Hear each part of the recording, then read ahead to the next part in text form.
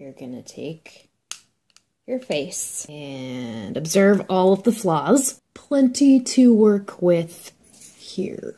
Begin with foundation.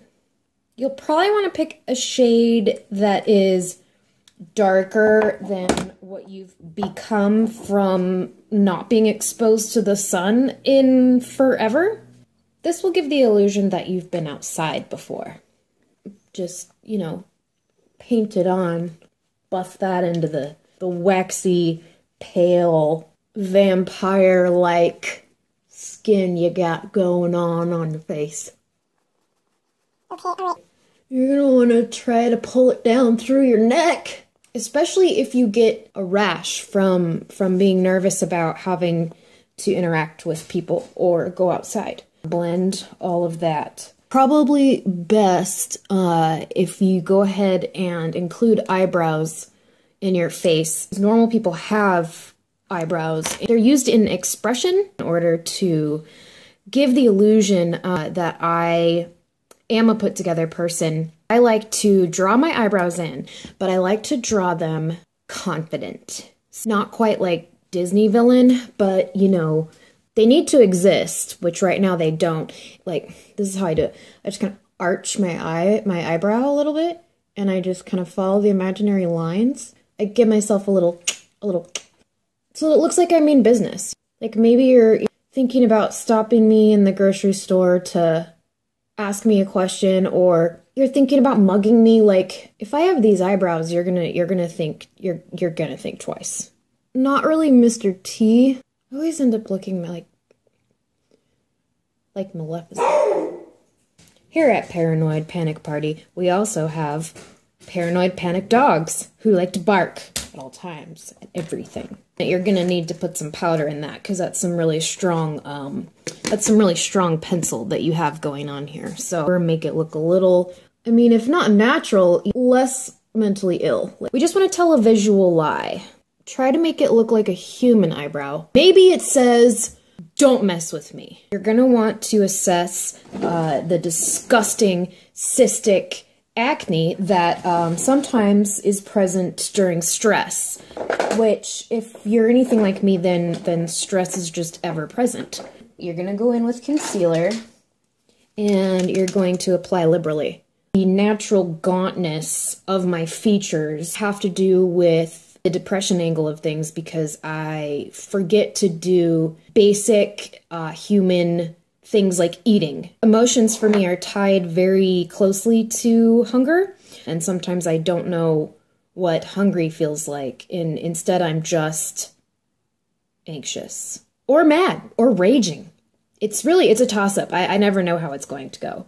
I just take uh, some bronzer. Again, we want to give the illusion that I've been outside. Start here uh, near the ear-ish and just kind of carve a line there and then buff it out. I can't wear it as dark as David Bowie used to, and I cannot pull off it as gloriously and beautifully as he did. So I'm not going to try. I'm just going to try to to give myself uh, a little bit of depth. We don't want people to see the black hole, soulless void uh, that I've become since, you know, being a teenager.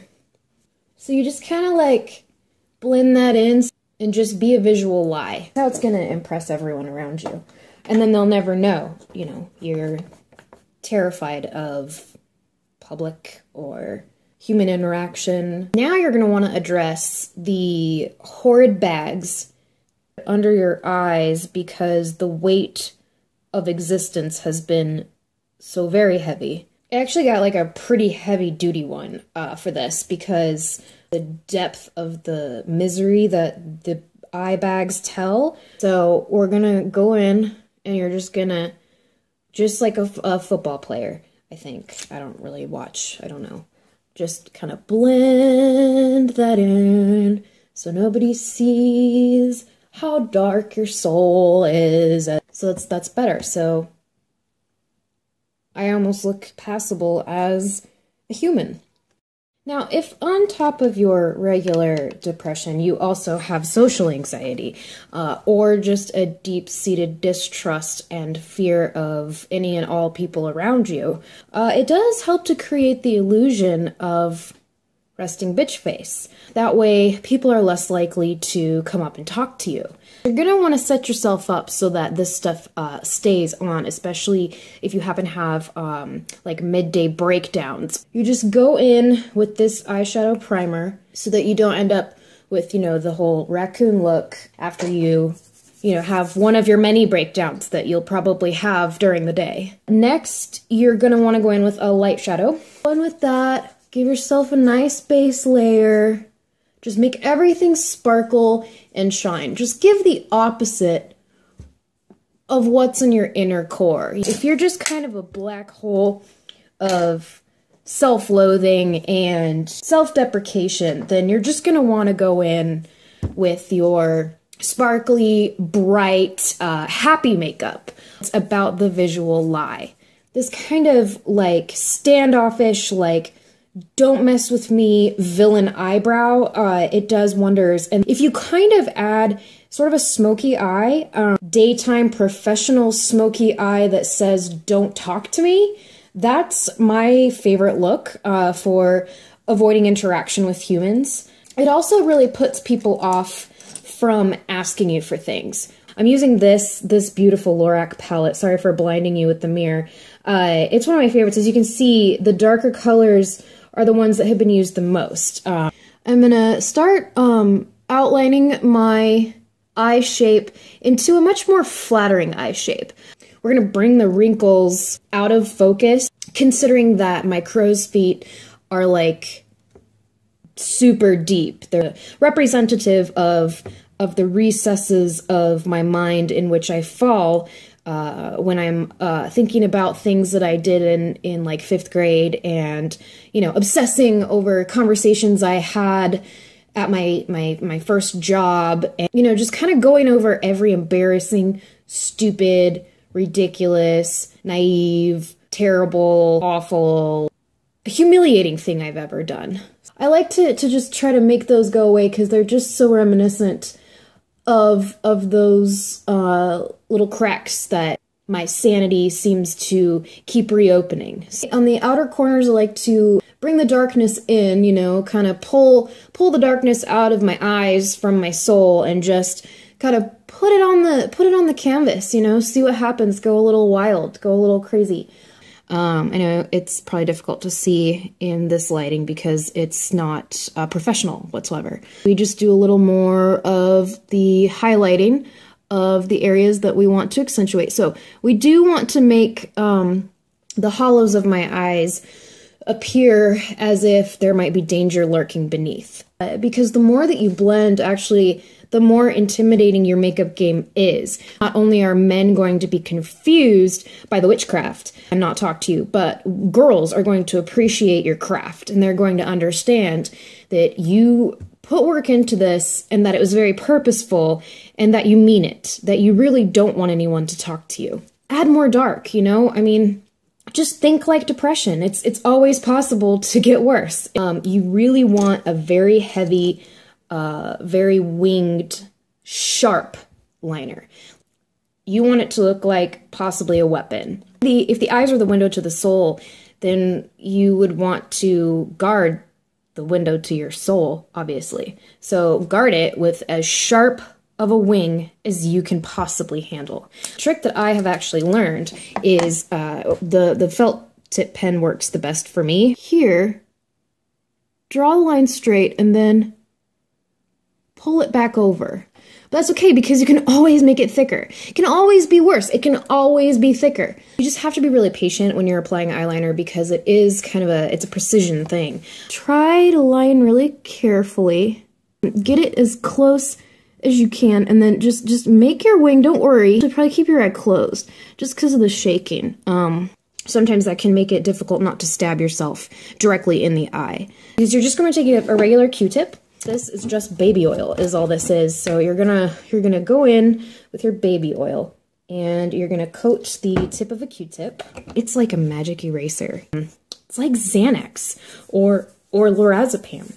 So you're gonna come in and you're gonna kind of like shape this back to something resembling an on purpose eye look. Smooth it all out. Sometimes with depression and anxiety, you you literally have to just start over because you have made such a mess of your life. It's a crazy place in here. We're just gonna we're just gonna buff it out. No big deal. Just buff it out. Uh, I do like to line the lower lash. It just looks it looks more intimidating. Either like the part of the morning in your commute to work where you cry, or like your your pre-lunch cry or your after lunch cry. Um, it, it's probably gonna come off. So I like to keep one of these uh, in my bag. Um, you can go with the eyelashes. I have a difficult time keeping the fake eyelashes on. You know, like I find like when I do the when I squinch my eyes, you know, where I'm like screaming in the in the car, they kind of like pop off on the sides when they're just they're just gonna escape my face when I'm screaming into the void. Apply a generous coat of waterproof mascara for obvious reasons. Sneeze while you're doing this, trust me. There's no possible way to do this without opening your mouth. I dare you. If you just do it a little bit faster. Oh, yeah. That's why we have uh, such a strong concealer. Also a really good idea to, to keep this on hand. Okay, so then uh, you're going to want to seal your look. So um, I just go in with a nice translucent powder because I don't go in the sun. Um, it's actually a warning on my antidepressant uh, that you should avoid direct sunlight. So, you know.